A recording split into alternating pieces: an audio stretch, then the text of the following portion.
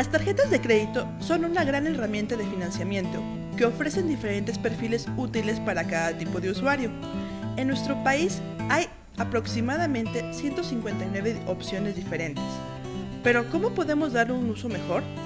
Platicamos con Mario Di Constanzo, presidente de la Conducef, para conocer su opinión sobre qué se debe de tener en cuenta al momento de utilizar una tarjeta de crédito.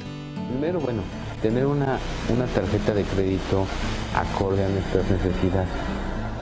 Lo que primero, lo que casi siempre hacemos es que tomamos o contratamos o adquirimos la tarjeta de crédito que nos ofrecen saliendo del cine en un centro comercial y no la que más se ajusta a nuestras necesidades. ¿Cuál es la que más se ajusta a nuestras necesidades? Depende mucho de nuestro nivel de ingreso. Es decir, si tú eres una persona que no viaja frecuentemente a los Estados Unidos, si tú eres una persona que utiliza la tarjeta de crédito en ocasiones muy especiales o la utiliza para no cargar tanto dinero o no cargar dinero en efectivo, pues una tarjeta de crédito básica. No voy a decir marcas o bancos instituciones, pero hay tarjetas de crédito básicas, así es el nombre, en, los que el costo anual total de la tarjeta no es muy alto, que las comisiones son mínimas, eh, que pagas una anualidad y que la puedes utilizar eh, pues en tu vida diaria, eh, con límites de crédito que no van más allá de 6, 7 mil pesos. hay tarjetas de crédito muy sofisticadas.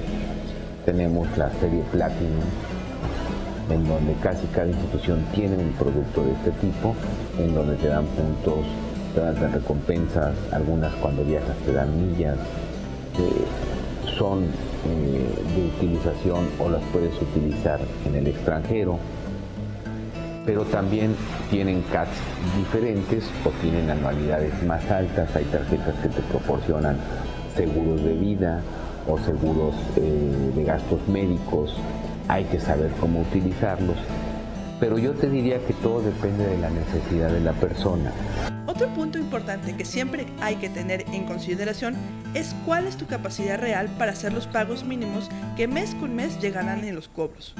Solo el 43% de los mexicanos liquidan sus gastos en tarjeta cada mes para evitar generar intereses. Esto es por dos razones. Primero porque, bueno, el límite de crédito casi casi te puedo decir que nos lo tenemos que autofijar de acuerdo a nuestra capacidad de pago. ¿Cuánto es la capacidad de pago deseable? ¿O cuánto es el porcentaje de nuestro ingreso que debemos de utilizar o comprometer eh, para pagar una tarjeta de crédito o un crédito en general? Yo te diría que, por ejemplo, el 30% de nuestro ingreso libre porque muchas veces tenemos un ingreso, pues ya tenemos el 80% de este ingreso comprometido.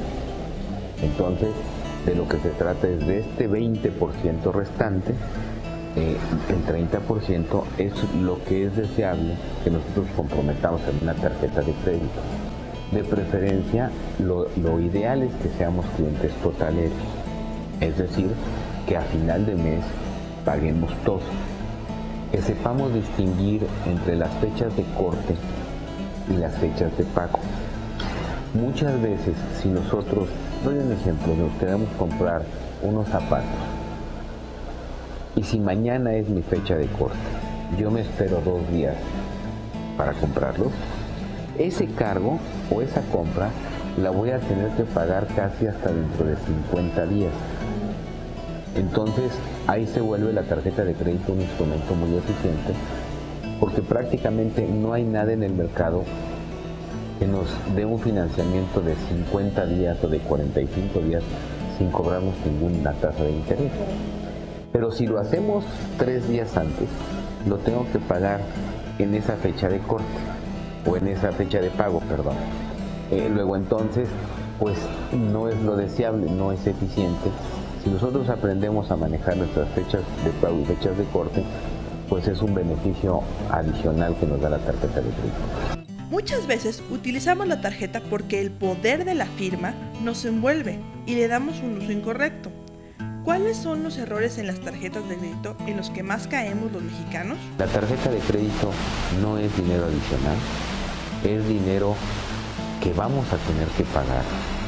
Es el utilizar el crédito en general es algo que va a comprometer nuestra capacidad de pago a futuro. Eh, esto es uno, ese es un vicio que tenemos en el que no medimos eh, la capacidad de pago y creemos muchas veces que la capacidad de pago de, nuestra tarjeta está dada por el límite de crédito. Pero yo te puedo poner un ejemplo, una persona que puede ganar 10 mil pesos al mes y que tiene una tarjeta de crédito con un límite de crédito de 5 mil, que no es usual, casi siempre es más, pero bueno. Pero tus gastos ya los tienes comprometidos el 80% de tus gastos y tienes nada más un sobrante cada mes de 2 mil pesos. Esa deuda de 5 mil va a tardar muchísimo, vas a tardar muchísimo tiempo en pagar. Entonces, ese es un vicio. Creemos que nuestra capacidad de pago está dada por el límite de crédito de la tarjeta, cuando la capacidad de pago está dada por el disponible que tenemos nosotros después de eh, descontar, digamos, nuestros gastos fijos, que puede ser la renta, la escuela de los hijos, este, esta serie de gastos, la comida, eh, la serie de gastos, el crédito hipotecario, Después de todo esto, ese es eh, únicamente el disponible. Entonces, ese es, un, es un error que tenemos. Otro vicio que tenemos en, cuestión de crédito son las famosas compras a meses sin intereses, que los da la, tarjeta de crédito. ¿Por qué? Porque a veces pensamos que o hacemos una compra a meses sin intereses y pasa mucho durante el buen fin. Eh, hacemos una compra a meses sin intereses y decimos, bueno, pues este sí, son eh, un producto que te cueste 10 mil pesos y tú dices, bueno, son mil pesos mensuales o son 700 pesos mensuales. Eso sí puede.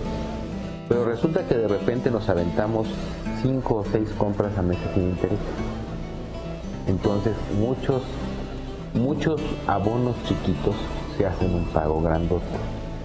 Luego entonces lo que tú tienes es pues muchas compras a meses sin intereses afectan tu capacidad de pago. Una no hay problema, quizás en muchos casos, pero muchas. Y también pensamos que eh, o no prevemos o no pensamos que una compra a meses sin intereses, en pocas palabras, es preguntarnos si dentro de un año vamos a seguir teniendo ese disponible. El disponible lo podemos tener hoy, pero si nos seguimos echando más compromisos, ese disponible se va reduciendo. Otro punto importante que siempre hay que tener en cuenta es el límite de crédito, que es el dinero del que se dispone en una tarjeta de crédito determinada. Un engaño común es creer que porque se tiene mayor límite de crédito se posee más dinero. La otra que también es importante, te digo, es, yo quiero tener muchas tarjetas de crédito o límites de crédito muy altos. Y aquí te diría primero, eh, el primer, la primera implicación de tener un límite de crédito muy alto tu pago mínimo va a ser alto, porque el pago mínimo está en función de la línea de crédito que tengas. Entonces muchas veces llegamos al cajero o hacemos una operación o nos llega un mensaje al celular o nos hablan a nuestra casa y nos dicen, oiga, pues por su buen uso del crédito, eh, le estamos duplicando la línea de crédito. Y ahí vamos a aceptarlo. Bueno, si no somos totaleros, que nosotros entendamos o sepamos que cuando nosotros decidimos aumentar nuestra línea de crédito, en ese momento aumenta nuestro pago mínimo.